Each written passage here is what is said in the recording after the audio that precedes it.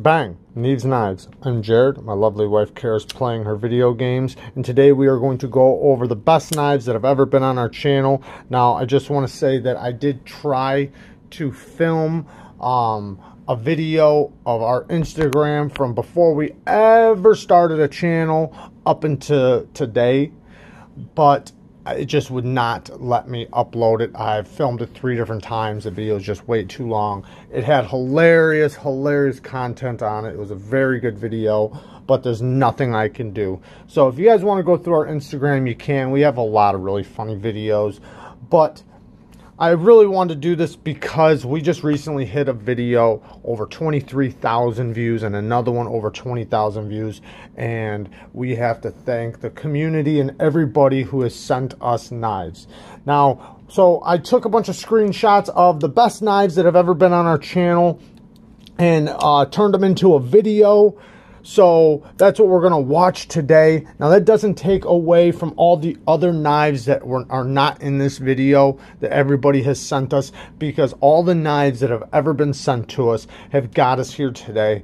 And if it wasn't for all of the knives that everybody has sent us to check out, uh, we literally wouldn't be here.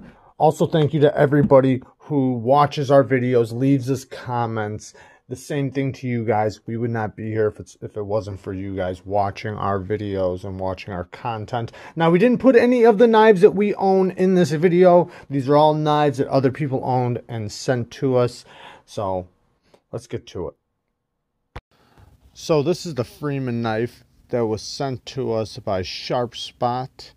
Um, he was one of the first people to ever send us a knife. Here's another picture of it. Very awesome knife. I loved this knife. Great hard use knife. Now these are three SOCOMs. One was sent to us by Scott Big Bore Williams. That's the automatic. And then the custom and the regular one was sent by Acuminous Edge. The custom here was absolutely amazing. It was a Marfione Custom. You see the blade there. Oh man, this thing was amazing. The hollow grind on it was about as thin as you could possibly get. It was crazy thin. Amazing knife. And then here's the scales, the Stingray scales. Oh, this thing was amazing. It did not feel anything like um, a, a production model SOCOM. Now these are three Chavezes that were sent to us by Long Island Knife Guy. These things were awesome. This one in the middle right here, you see it had a Timascus backspacer. It was fully customized.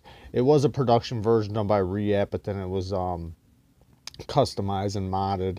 Um, it was really nice getting all three of these in hand for the first time. Definitely amazing knives. I really liked uh, these Chaves knives. Next, Jeff Jewell sent me the first time we ever laid hands on a Sebenza. We've only actually held a small one and then this one right here, but this was from Jeff Jewell. He sent this to us for us to check out. Really awesome. Um, I did really like the knife. Now you see the Reate. That's the K3 sent to us by Stasa23. He sent us a bunch of knives to keep and then uh, we got to check out his Reate K3. I did a video on it, versing it. Um, well, not really a versus, but kind of comparing it to the Twosun TS162. Check that video out. So that's the Twosun TS162 right there. And uh, I just threw it in the video to show you uh, a picture of it because I don't have it anymore. I did give it away, but it was an amazing, amazing knife and showing the quality of it versus a Reate was really awesome. And I got a couple pictures coming up right now. Um, right here, this is the bearings and the racetrack that all Twosuns have. So if you ever wondered, and then if you look right there, you'll see that's a reverse detent track, which a lot more expensive knives don't come with. So it kind of shows Twosun's quality. And then this here, you see how much milling is done on it and then that top track that's for an internal stop pin Okay, so now this was sent to us by Abby. This is the 187 by Medford. I really liked this knife. It had uh, 3V blade steel and I sharpened it up for him. It took a heck of an edge. Beautifully well done hollow ground blade. It's big knife, big knife for sure, but it was a great knife. I really enjoyed it. Next up here we have the Mongoose. This knife was amazing. Damasteel blade, titanium uh, scales with titanium liners. This was sent to us by Shaker MT, and you see the clip there. That's uh, and uh, I, I forget what's called. I think iced. Uh, I think that's what frosted, frosted clip, frosted clip. You see the liners there. Man, this thing was beautiful really nice uh, hollow ground Wharncliffe blade. Now here's a whole bunch of knives. The two in the middle, well, you got the 187, the 187 Medford on top, the Annex, the Marfione Custom Annex, then the Marfione Custom Strider, then the Harukas, uh, Harukas Blomerus Custom Knives, South African knife maker, then the mongoose again, and then a Shirogorov. Very amazing, amazing knives. Now, this is that Marfione Custom Annex. We did do a review on all these knives we've shown, we did reviews on. This is an integral knife, outstanding knife. This knife was crazy. Um, the hollow grind on it was insane. Uh, everything about it was insane. Incredible, incredible knife well, well built knife. Um, here's the other side of it. Uh, you've seen that it was an integral, and then you see the lock face was actually screwed in separately, or the lock bar, I should say. Now, here is a picture of the Marfione Custom Strider amazing knife. The build quality of this knife was insane. This was sent to us by Cumanus Edge. So was the Annex, actually. So both of these were sent to us by, by Cumanus Edge.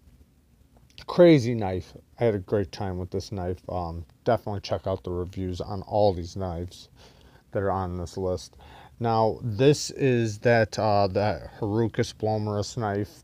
Um, very unique, unique feel. The detent on this thing was was definitely unique to anything I've ever uh, flipped before. It felt very, very unique. It's a South African custom knife maker who does these, and definitely incredible. It had like a bluish purple liners. You see it right here. That really, really stood out. Everything about this knife was amazing. Um, yeah, it was a beautiful knife for sure. Now, next up, these were sent by Dirk Wierning. Um, these are his Medfords. And uh, yeah, we had a good time with all these knives. All these knives were great, incredible knives. But there was one specifically that really stood out to me. The, the one I liked the most, which was the Marauder. The Marauder to me is an incredible knife. I would love to get my hands on a, um, on a Slim MIDI even the Praetorian Slim for that matter. But the Marauder stood out to me the most out of all these knives. I really, really liked it. We're going to see some more pictures here right now. Oh, no, you know what? Actually, we're going to see some of the Praetorian first. Um, man, this thing was sick. I mean, you could just see what it looks like. It's it's incredible. The knife's definitely incredible. Now, here's the Marauder.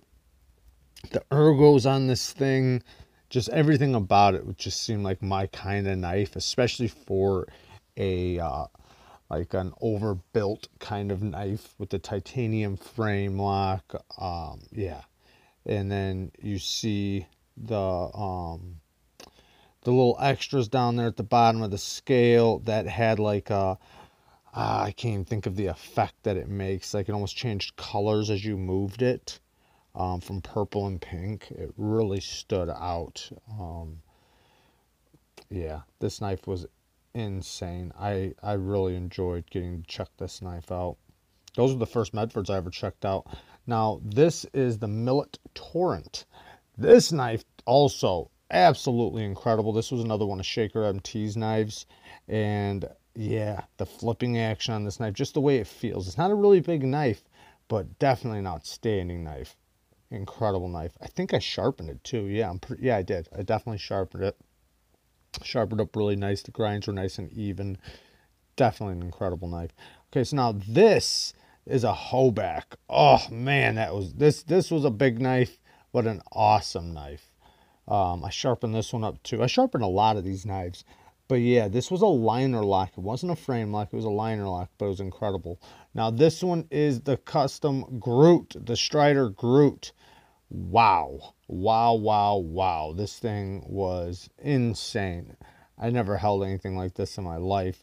It has that copper wash finish on the scales. It's titanium frame lock, but it has like the copper wash on it. I did a review on it. If you want to see more about it, go check out the review. It was insane. I got some more pictures right here. You can get a little bit more of a close up of the finish of the titanium. It even had that same type of copper wash on the blade also. So very, very cool. Then here's one more picture of it. Um, you see the grind, the nightmare grind. Crazy grind. And it's not a hollow and a flat. It's actually two hollows. Two hollow grinds on one blade. Now this is the the snafu, um, the Recenti snafu, and I can't believe I only had one picture of this thing. I did a little, I did a video on it. I did sharpen it. I really, really, really like this knife. It was an integral. Man, it was such a good knife. The build quality is insane. This one man, this thing, we had the opportunity to buy it and we didn't. We're stupid. Um, we even were given a, a deal of a lifetime, uh, a deal you couldn't refuse, and we just did not have the funds to do it, even though, you know, it was a deal of a lifetime. But, you know, you know how it goes. Um, but, uh, yeah, uh, span the, the blade is uh, called the Spanish tipped razor. So one side is Timascus, the other side's a titanium frame lock. You see the Timascus bolster. Um, incredible knife. Uh, I think it was Ladder Damascus, the blade. Really, really cool knife. Now this is the Jurassic. We just recently did the review on this knife.